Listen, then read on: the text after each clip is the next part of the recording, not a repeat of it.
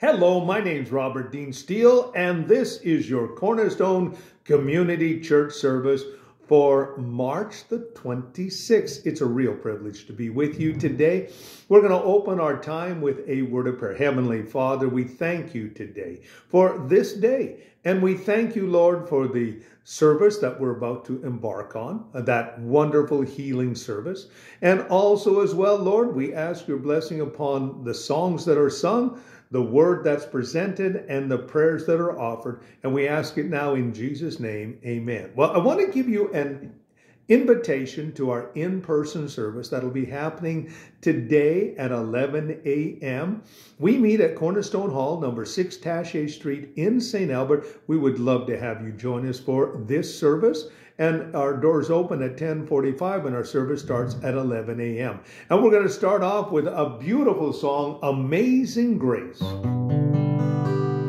Amazing grace, how sweet the sound that saved a wretch like me.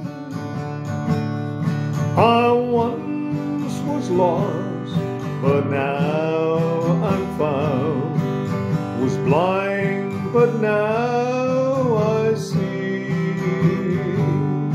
Twas grace that taught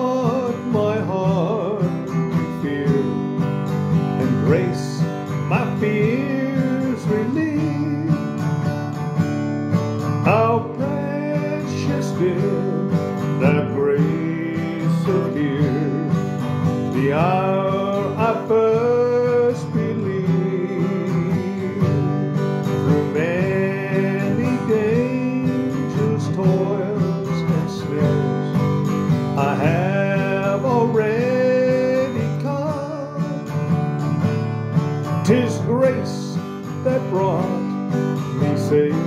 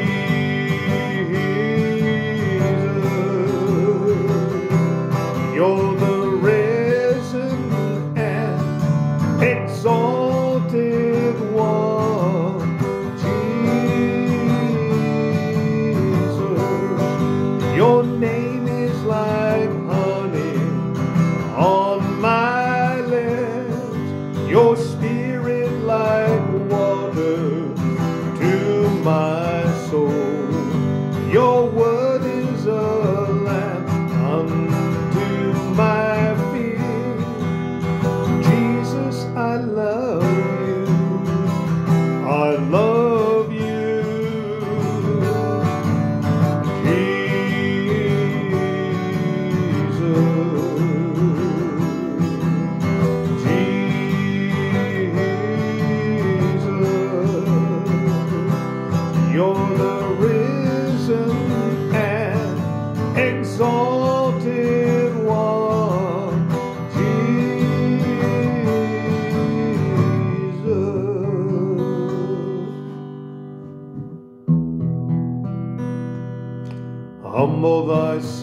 in the sight of the Lord.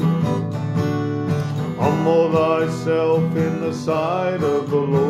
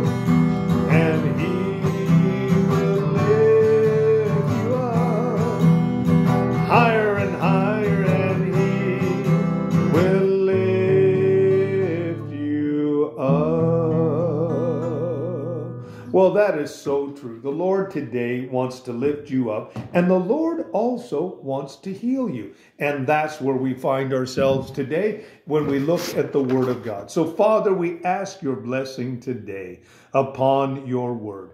And what we're going to be sharing today from your word, we ask that blessing now in Jesus' name. Amen. Well, today is a healing service. It is a time where we focus on God's power and ability to heal us in the area of physical, emotional, intellectual, spiritually, family wise, and financially. It's a time where we stand on 1 Peter 2:24 that states that by his stripes we are healed. It's also an opportunity for God to do what he promised in Ephesians 3:20, to do exceedingly abundantly beyond what we're able to ask or even imagine. Now, the ultimate healer, of course, was Jesus Christ. And here are seven reasons why Jesus healed. First of all, he healed because he was moved with compassion.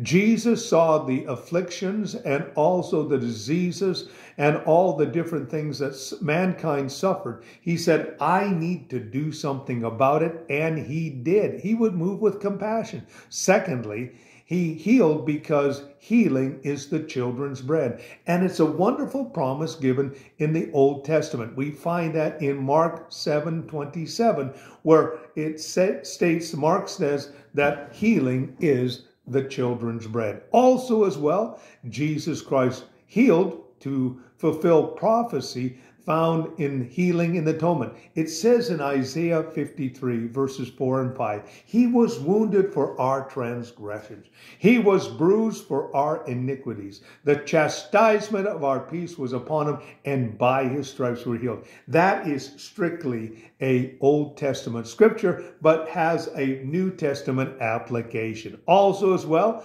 when Jesus healed, He went to reveal his father's glory. He says, The reason I'm healing is because the, glo- the, the Father is glorified through this. Also, as well, Jesus used healing to prove his ministry and mission. When someone came to him and Jesus healed him, he showed that God was in control and that God was going to be glorified, honored, and exalted through the healings that he did. Also, as well, he healed because he was a Bible type. You know, one of the scriptures that we find in Exodus simply says this that none of the diseases of the land will come upon us because the Lord is our healer. And Jesus Christ, of course, is the fulfillment of the scriptures. And because he's the fulfillment of the scriptures, also as well, that means that Jesus Christ is our healer.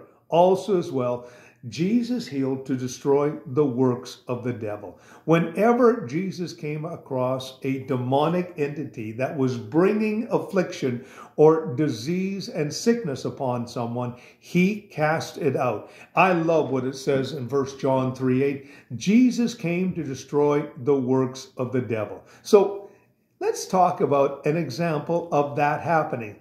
Jesus was in the area of Capernaum and uh, he came across the fact that Peter's mother in law was not well. And so Jesus went in and touched her and healed her. And the interesting thing was, after she was healed, being a good Jewish mother in law, she served everyone dinner. And that's a perfect example of Jesus being led by compassion. Also, as well, you see, when Jesus healed or when God heals, God is glorified when you are healed, whole, and made ready for service. Because all of a sudden, all those weights and sins and diseases, afflictions are off of you, and you are more mobile and more willing and ready to do the work of the Lord.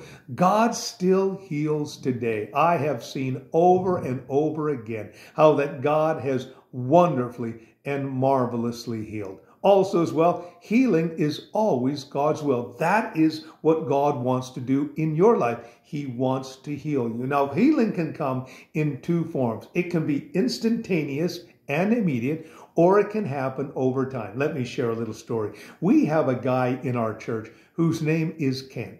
Just last week, I had a conversation with Kent, and Kent was telling me that the vertigo that he had been dealing with is now gone. And also, as well, he was not able to see because of a affliction called glaucoma, but because of the Lord's goodness, now Kent is able to heal, see perfectly well. God healed him of his vertigo and his glaucoma. So God wants to heal you today. God also wants you to live eternal and abundant life. And part of that eternal and abundant life is to walk with health and prosperity. In fact, that was the prayer that uh, John gave in 3 John 2 when he says, I, pros- I pray that you be in prosperity and health even as your soul prospers. Did you know that prosperity begins from the inside out?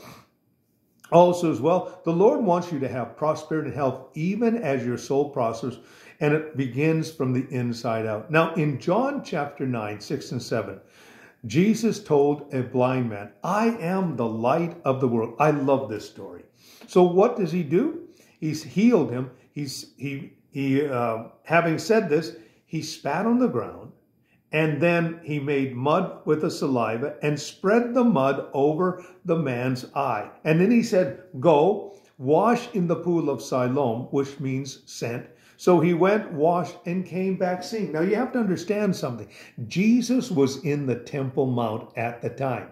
And so what he was asking the man to do was nearly impossible. But the man did what Jesus said he wanted him to do, and he came back seeing. This is what we call a recreative miracle. And what I mean by a recreative miracle is simply this that Jesus took some dust or some mud with his saliva, put the mud over the man's eyes, and told him, What I want you to do is go wash your face in the pool of Siloam, and you will be made well. And he did, and God touched him. Today, God wants to heal you.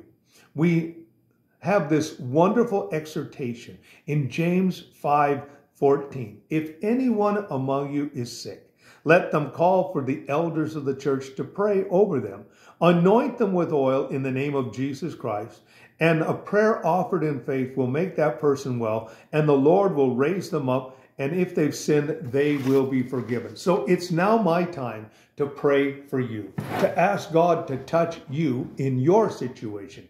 So, Father, today, We've been talking about healing. This is that moment where, Lord, you are going to heal. The first place you're going to do it is in our personal relationship with you. Right now, in the name of Jesus, we are confessing our sins and we are renouncing them and we are re releasing them, Lord, to you, and we are receiving your forgiveness.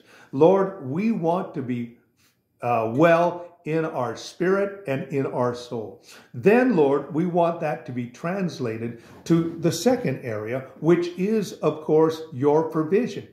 You are Jehovah Jireh, our provider. That means that, Lord, you're going to supply every need according to your riches and glory. So thank you for that right now, and thank you for your healing touch. Lord, 1 Peter 2.24 tells us that by your stripes we're healed. Right now, in the name of Jesus, would you extend that healing to us? Would you release us, Lord, from all these things and heal us, Lord, in every way? That is what we're looking for today. So, Lord, we have those two wonderful promises of Philippians chapter 4, verse number 19, and 1 Peter 2 24 that says, By your stripes we're healed. We are healed and we are whole. And we claim it now. In Jesus' name we pray.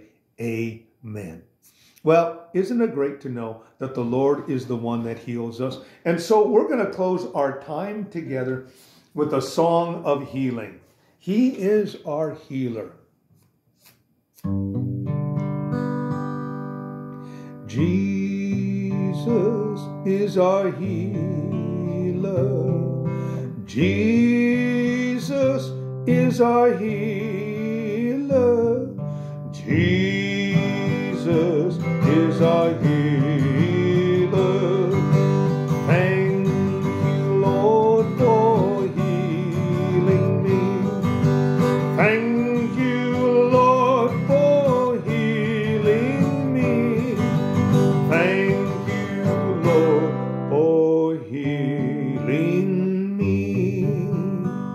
He is the healer today, and He is healing you and making you whole. Well, I want to give you an invitation to our in person service that will be starting today at 11 a.m.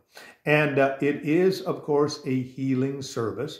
And if you are not able to attend, then you can watch, of course, on Facebook Live. But if you can attend, we meet at Cornerstone Hall, number 6 Taché Street in St. Albert. And we would love to have you join us for that 11 a.m. service. Our doors open at 1045. So, Father, thank you today for this wonderful opportunity, Lord, to spend time together. We ask that, Lord, right now, in every area of life, you would heal your people and you would restore their people, Lord, and give them victory. And we ask it now in Jesus' name. Amen. Well, thank you so very much for joining me today. God bless you and have yourself a great and godly day.